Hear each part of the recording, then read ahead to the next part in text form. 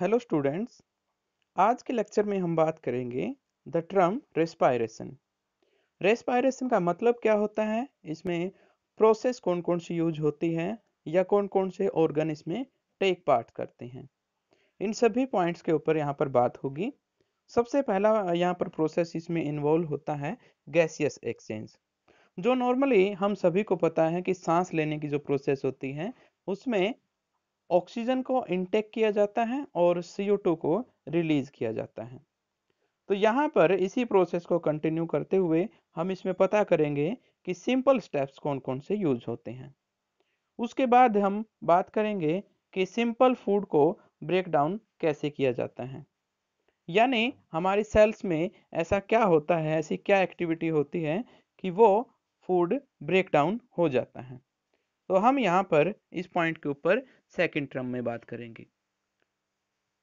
तो एक बार हम सबसे पहले पढ़ लेते हैं जिसे हम break down of simple food कहेंगे सेलुलर रेस्पायरेशन क्योंकि ये थोड़ा सा आ, कम है लेंथ में तो आज के लेक्चर में ये इजीली क्या हो जाएगा? चेंज हो जाएगा। तो सबसे पहले हम समझ लेते हैं कि ऑक्सीजन का एक वैल्यू होता है हमारे शरीर में। पहला, सबसे पहले हमें सांस लेने के लिए इसका इस्तेमाल करते हैं। सांस लेने की प्रोसेस एक्चुअली है क्या? जब हम सांस लेते हैं तो वो ऑक्सीजन डिकम्पोज करती है हमारे खाए गए खाने को और उसको फिर वो एनर्जी में कन्वर्ट करके सेल तक पहुंचाती है, ब्लड में मिक्स होकर के। अब कैसे? उसके बारे में बात करते हैं। सबसे पहले हमें पता है कि जब हमने डाइजेस्टिव सिस्टम पढ़ा था, उसमें हमने अपने फ़ूड को ग्लूकोज में कन्वर्ट कर दिया था। अब ग्लूकोज में कन्वर्ट करने के बाद ये सेल तक पहुँच जाता है। बाई स्मॉल इंटेस्टाइन ये बिल्कुल अच्छे से क्या कर लिया गया था? एब्जॉर्ब कर लिया गया था। अब यहाँ से हम, ये जो ग्लूकोज है, ये सेल तक पहुँच चुका है और सेल तक पहुँचने के बाद सेल में प्रेजेंट साइटोप्लाज्म यानी कोशिका द्रव इसे क्या कर लेगी? एब्जॉर्ब कर लेगी। वहाँ पर कुछ मैकेनिज्म होता है और इसका फर्दर डिकम्पोजिशन होता है और ये पायरुविक एसिड बन जाता है। जिसका फॉर्मूला होता है C three H four O three ये फॉर्मूला होता है पायरुविक एसिड का। I repeat C three H four O three ये हमारे पास फॉर्मूला होता है पायरुविक एसिड का। और साथ में यहाँ पर थोड़ी सी एनर्जी रिलीज़ हो जाती है। अब ये जो पायरुविक एसिड है, ये डिपेंडिंग अपॉन ऑक्सीजन अमाउंट तीन तरह के प्रोसेस कर सकता है। सबसे पहले हम उस प्रोसेस की बात करते हैं जिसमें ऑक्सीजन बहुत कम होता है, यानी बहुत बहुत कम। तो उस केस में फर्मेंटेशन होगी। जो पायरुविक एसिड है, वो अपने आप को इथेनॉल कार्बन डाइऑक्साइड और एनर्जी में कन्वर्ट कर लेगा। ये कहलाता है फर्मेंटेशन। या कह सकते हो कि यहाँ पर कंप्लीट एब्जॉर्प्शन नहीं हुआ था और उसकी वजह से यहाँ पर ऑक्सीजन एब्जॉर्ब नहीं हो पाई। उसकी वजह से यहाँ पर क्या बना है? इथेनॉल बना है और बहुत कम अमाउंट में एनर्जी मिली है। ज़्यादा अमाउंट में यहाँ पर इथेनॉल मिलता है। उसके बाद हम बात करते हैं जब इनसुफिशियंट ऑक्सीजन हो। यानी ऑक्सीजन तो फुल अमाउंट में मिल रही है, लेकिन हम एक्टिविटी ऐसी कर रहे हैं जिससे हमें ज़्यादा क्या करनी पड़ रही है? ऑक्सीजन की रिक्वायरमेंट ज़रूरत पड़ रही है। जैसे हम कोई रनिंग कर रहे हो, भाग रहे हो, या एक्सरसाइज कर रहे हो कोई भी जिम वगैरह में तो वहाँ पर हम देखते हैं कि थोड़े बाद हम थक जाते हैं। हमारी मसल्स काम करना अच्छे से बंद कर देती हैं। ये होता है इनसुफिशियंट ऑक्सीजन की वजह से। हमारे मसल्स में जो सेल्स होती हैं, उनमें लैक्टिक एसिड बनना शुरू हो जाता है। लैक्टिक एसिड की वजह से जो मसल्स है, वो कॉन्ट्रैक्ट हो जाती हैं, सिकुड़ना शुरू कर देती हैं। उसकी वजह से क्या होगा? एक प्रोसेस होती है, जिसे हम मसल फटीक कहते हैं।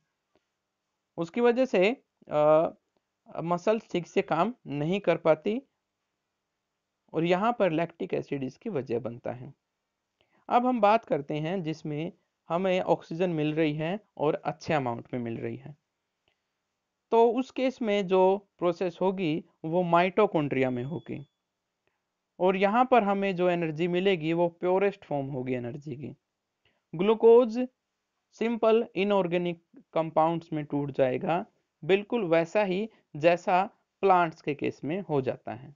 जैसा हमने एनवायरमेंट में से लिया था इसको, बिल्कुल वैसा ही हो जाता है सिंपल एनर्जी का एक्सचेंज हो जाता है। कार्बन डाइऑक्साइड वाटर और एनर्जी में ये कन्वर्ट हो जाता है। आई रिपीट यहाँ पर तीन तरह की प्रोसेस होती है due to lack of oxygen insufficient oxygen and full oxygen absence of oxygen में इथेनॉल बनता है। Main component. इनसुफिशियंट ऑक्सीजन में लैक्टिक एसिड बनता है मेन कंपोनेंट और प्रेजेंस ऑफ़ ऑक्सीजन में मेन कंपोनेंट कार्बन डाइऑक्साइड बनता है और साथ में एनर्जी बनती है। तो ये प्रोसेस होती है किसके साथ? जब हम ऑक्सीजन ऐड करते हैं। अब ये ऑक्सीजन के बेस पर हम कह सकते हैं कि रेस्पायरेशन दो तरह का होता है। First one aerobic and second one anaerobic aerobic का मतलब होता है प्रेजेंस ऑफ़ ऑक्सीजन और अनएरोबिक का मतलब है in the absence of oxygen ऐसा रेस्पिरेशन जो प्रेजेंस ऑफ़ ऑक्सीजन में होता है, उसे हम एरोबिक रेस्पिरेशन कहेंगे। और ऐसा रेस्पिरेशन जो एब्सेंस ऑफ़ ऑक्सीजन में होगा, उसे हम एन एरोबिक रेस्पिरेशन कहेंगे। इनमें डिफरेंस टेबल कई बार पूछ ली जाती है। जो भी आपको ये एरो से सिंबल से कंपोनेंट बनाए गए हैं। पीछे भी हमने कुछ बनाए थे पेप्सिन के बारे में ट्राइप्सिन के बारे में, और प्रोटीन कहाँ डिकम्पोज होता है? अगर स्मॉल इंटेस्टाइन की बात की जाए या फिर सिंपल स्टोमक की बात की जाए तो अलग अलग आंसर आएँगे हमारे पास, और उनको आपने ध्यान रखना है। ये ऑप्शन वाइज क्वेश्चन में आ जाते हैं। जनरल नॉलेज के क्वेश्चन होते हैं। उसके बाद हम टेबल यहाँ पर स्टडी करते हैं डिफरेंस टेबल एरोबिक एक तरफ़ है और एक तरफ़ अनएरोबिक है। एरोबिक के पॉइंट पढ़ता हूँ मैं। Take place in presence of oxygen ये ऑक्सीजन के प्रेजेंस में होता है। अकर्स इन माइटोकॉन्ड्रिया ये सेल के अंदर एक ऑर्गेनली होता है, जिसे हम माइटोकॉन्ड्रिया कहते हैं, उसमें टेक प्लेस करता है।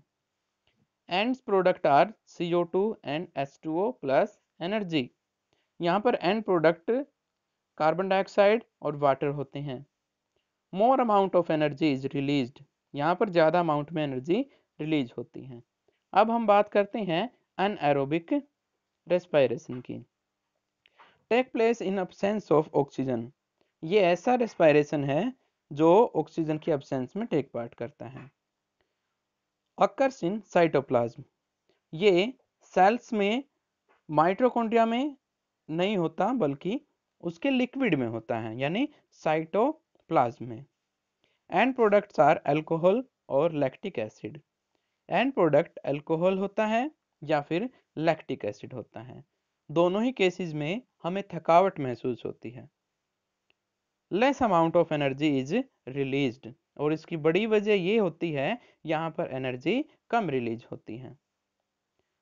तो ये कुछ पोर्शन थे जिसमें हमने रेस्पायरेशन की बात की। यानी रेस्पायरेशन का वो पार्ट जिसमें हम फ़ूड का डिकम्पोजिशन करते हैं। नेक्स्ट लेक्चर में हम बात करेंगे कि रेस्पायरेशन होता किस तरह से है। कौन कौन से ऑर्गन यहाँ पर टेक पार्ट करते हैं और क्या क्या करते हैं वो। Okay all the best